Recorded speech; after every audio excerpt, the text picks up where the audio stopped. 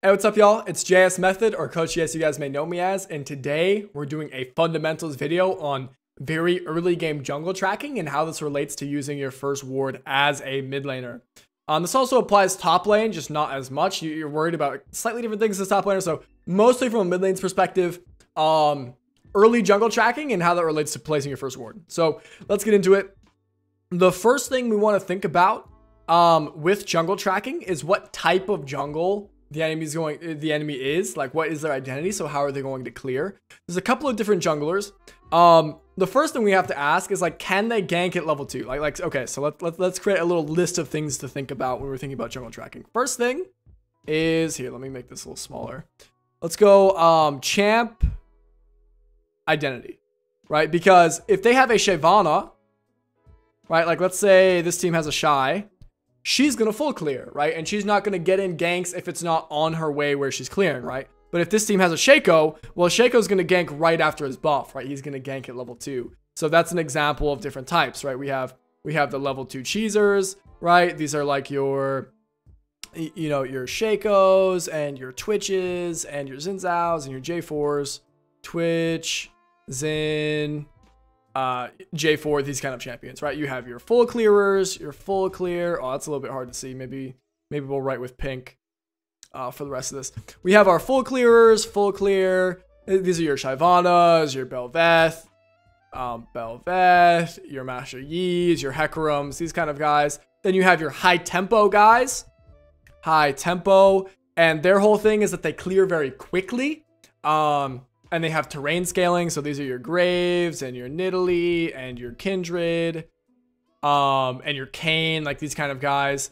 Now, these guys are kind of like a mix of in between. If you're playing against a full clear jungler, you know that you probably don't have to worry about a level two gank, right? So that's why this is important. You know, wherever they start, they're going to do all of their camps on the way, and they're only going to fit in ganks when they're crossing over or when they're at the end, right?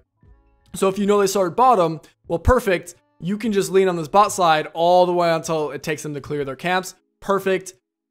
That's all you have to do, right? But if we're playing against one of these early game level two junglers, um, you have to really respect the potential that they could be in your, your lane right after a, uh, you know, right after their buff or right after a three camp, right? So, um, you have full clear junglers, you have high tempo junglers, and then you have everything in between, right? So champion identity is the first thing we're going to ask. And then we kind of have to ask what clear is likely, right? Um, what clear? So let's talk about a couple of different clears. We have um, we have a full clear. We have a five camp. We have a three camp. And then we have a level two gank. These are kind of all of the first clears you can do. Um, and basically what they all are, you know what, maybe here, I'm just going to erase some of this so we can draw on the map here what a uh, full clear is, is when they start one of their buffs and then they just do all of their camps. That's a full clear. These end around three, you know, it, it depends on who the champion is. Anywhere from, you know, 315 to 330, somewhere in there, right? Depending on the champion and depending on how good they are at clearing, that kind of thing. A five camp is exactly like a full clear, except they're going to skip one camp, right? So one, two, you know, let's say they do this. This would be a five camp where they skip this camp. Um, a three camp, and these end around the same time, depending on the champion, whatever, maybe a couple seconds shave off. Now, a three camp is when they do three camps into a gank. Now, this very commonly is buff, gromp, buff. So this is three camps, right? And then they're gonna gank. Now this is tricky because this gank can come out as early as 230. So 230 is like one of the most important timers that we have to ward for. So we have to pay attention, can they level two? But if they can't level two, 230 is the first most important timer we have to ward for. Uh, so I'll just write need vision.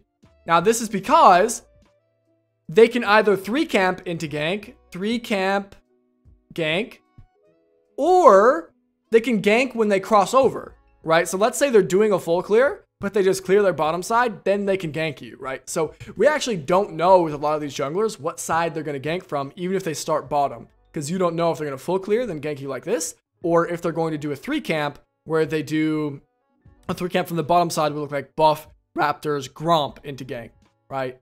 So, uh, all right, crossover. So, as a mid laner, we really need our first ward to come down by 230. If we don't have vision down by then, that's a very, very big problem. So, the first thing we ask is champion identity. The second thing we ask is how do they clear? And that's going to decide what, you know, when we place down our first ward. Um, and then if you know the side that their buff started on, right? Let, let's say they start bottom.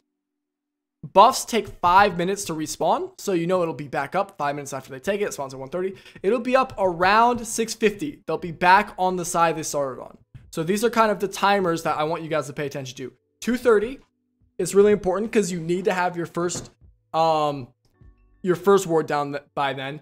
315 is important because that's when crab comes up and it's when full clears tend to finish. So we have to be ready for a full clear gank by then. Any jungler in the game can gank pretty easily around 230 and pretty easily around 315. And then 650 is important because that's when their first buff is coming back up. So you can kind of keep track of what side they're going to be on then. Um, so these timers are super, super important for basic early game jungle tracking. Um, okay, so we talked about asking what champion identity is the enemy going. So what are they likely to clear by? We asked what clear are they likely to go. Now we have these timers down. What else do we have to think about? Okay, how do we place our first ward and where do we place it exactly? So now we get a little bit more into the matchup.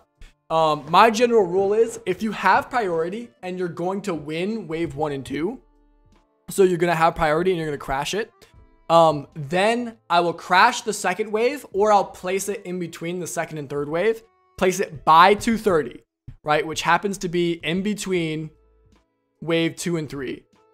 Wave two and three for mid lane. So at 230, in between the second and third wave, I will go drop my vision if I have priority. I really like this vision because it helps you um, see where they've been, if they've been on these chickens, and then you can lean on this pocket.